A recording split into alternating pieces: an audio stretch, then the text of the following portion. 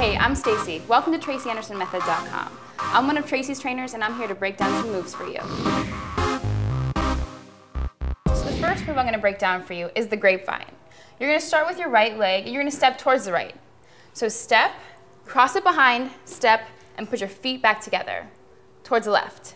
Step, cross behind, step, feet together. Let's do both ways. Step, cross, step, together, step, cross, step, together. So you guys can do it with me at home now, right? Right side, here we go.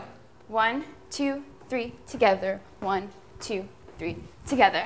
Nice job. The next move is a skip. Basically, you're gonna shift your weight from your right leg to your left. Starting with the right leg up, skip to the right, left leg, skip to the left. Let's try on both sides. Right, left, right, and left. Let's add a double to make it a little more complex. One, two, three, four. Nice. So now we're gonna put both of those moves together. It's actually quite simple when you break it down. You're gonna start with your right leg. We're gonna do a grapevine to the right. One, two, three, together. Now to the left. One, two, three, together. Let's do four skips to the right.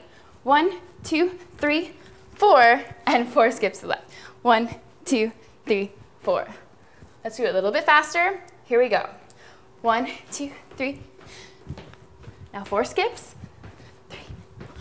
and other way. Nice job, you guys. Thank you for joining me today on TracyAndersonMethod.com. With these simple tips, you'll be a master of the method in no time.